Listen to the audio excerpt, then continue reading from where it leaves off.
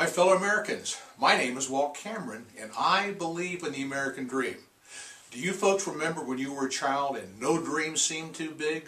I mean, some of us thought at that time that we would one day walk on the moon. Uh, others imagined stepping up to the plate at a big league baseball game and hitting a home run. I remember dreaming of riding alongside Roy Rogers and Trigger chasing the bad guys.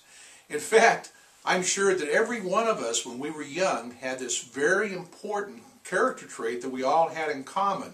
We were all big dreamers. And of course, as we, we grew up, we evolved in becoming big dreamers of our very own American dream. Ah yes, the American dream. Did you folks know that if you Google American dream on the internet, most of what you're going to find is extremely negative. Many will say that it's uh, no longer relevant in today's downturning economy or, or we don't have the same opportunities that our ancestors had when they immigrated to America years ago. Well, I completely disagree with such notions. In fact, I'm just about to finish my latest book that's titled, Yes, the American Dream is Alive and Well.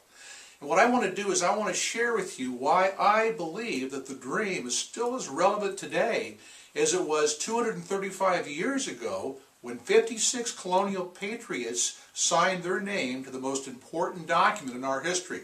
I'm talking about the Declaration of Independence.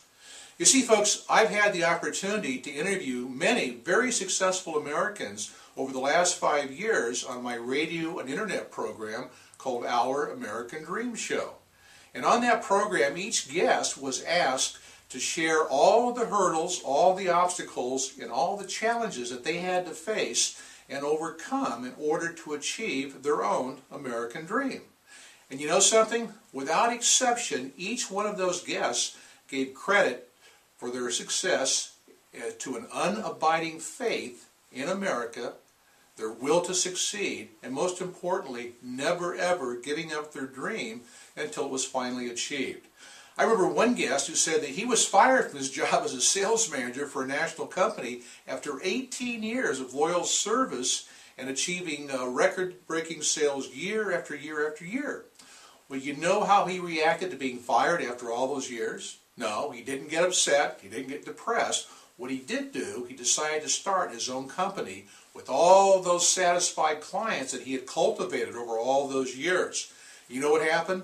He ended up building an even bigger company than the one he was fired from, and which he eventually ended up selling for millions upon millions of dollars. And what he said was, uh, when he was on the show, that, that looking back on his life in retrospect, that getting fired was probably the best thing that ever happened to him. Why? Well, because it forced him to reevaluate his goals and his priorities.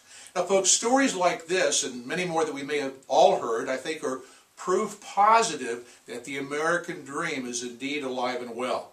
And for anyone who's not afraid of hard work, for sacrifice, and, and certainly unwavering perseverance, because those are the keys. And you see, I believe that any one of you listening and watching me right now who has a dream of your own, that now is the perfect time to make a decision to, to just do it. That's right. Go ahead and make your dream come true. Now, in order to be able to do that and accomplish it, what you need to do is you need to become informed, you have to get involved, and most importantly, you need to make a commitment to achieve the dream. And just like every other American dreamer who has been successful, you must never, ever give it up. I don't care what happens, you don't give up. And as former President Harry S. Truman once said, he said that America was not built on fear. No, America was built on courage, on imagination, and an unbeatable determination to do the job at hand. My fellow Americans, you must strive to be all that you were meant to be. You need to do it for yourself, you need to do it for your family, but live your American dream. And may God continue to bless America.